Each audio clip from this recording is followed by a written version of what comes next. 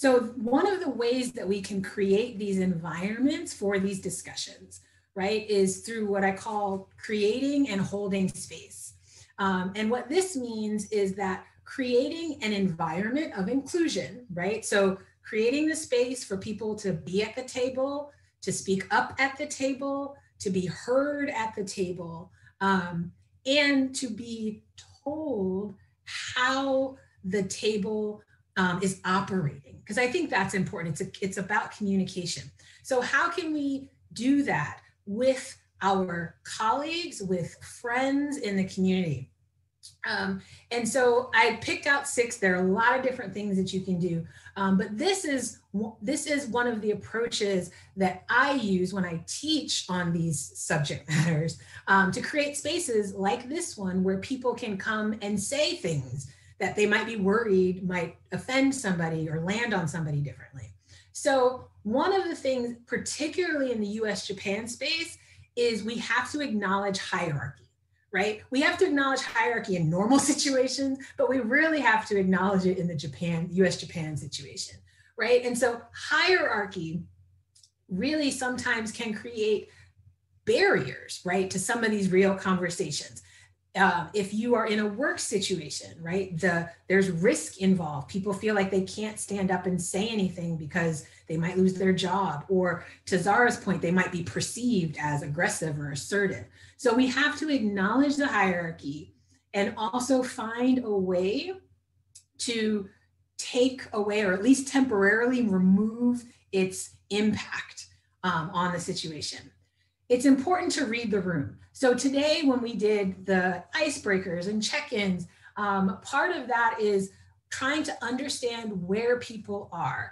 Um, how did they show up? What um, you know? What is their level of engagement going to be in the conversation?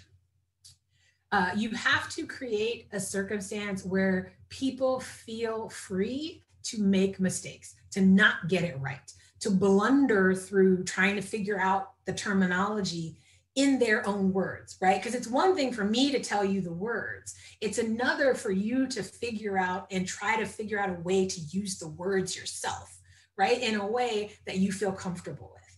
Um, and so when you're talking to people, both in a conversation, you want to make sure that you give people permission to make mistakes and don't feel like they have to get it right.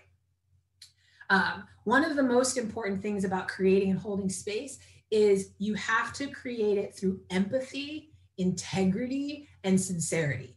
None of this, these conversations, no progress can be made, it's my belief, without humanity, right? Without empathy and sincerity. You have to want to be having these conversations.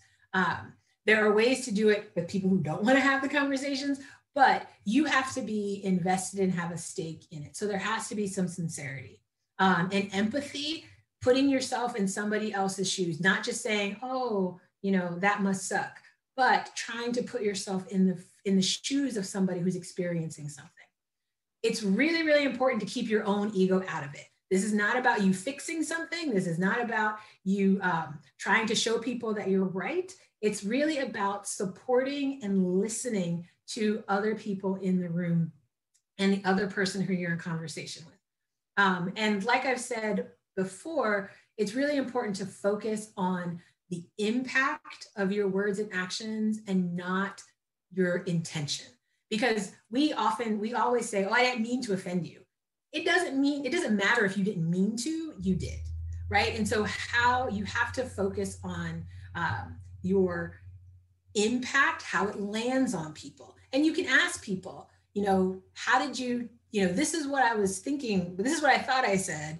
Is that what you heard? um, and I do that a lot with people because I always think that what I'm saying is different than what people actually hear. So, in holding spaces and creating spaces for these conversations, these are things that I think that you can actually put into practice along with things like active listening, you know, face to face or like eye contact, uh, being present, in the conversation. All of those things are, are, are concrete things that you can do uh, that I think will start to facilitate some of these opportunities. Um, and so we did not have time to do that. But the last thing I would do is allyship. Um, a lot of some of your questions were around the issues of allyship. How can we be good allies? Um, these are my six uh, for this group. Um, the big one, hold your business partners and funders and other people in positions of authority accountable for what they say, what they don't say, um, and you know where you spend your money, spend your time. That says something, right? So um, hold those people accountable. Validate other people's experience. I don't have to agree with you, but your experience is valid because it's your experience, right? Don't disregard other people's experiences um, because that is it's it's not productive um, and it's something that can also again lead to barriers to progress um, we always talk about bringing people or people coming to the table. Bring people with you. If you're at the table if you're in a position of authority bring people to the table. But don't just put them there. Introduce them around. Uh, give them a voice. Turn to them um, in times and say hey what do you think? Um, so it's not just about again it's not just about having them there, including them, but about having them also um, have a, a stake uh, or participation.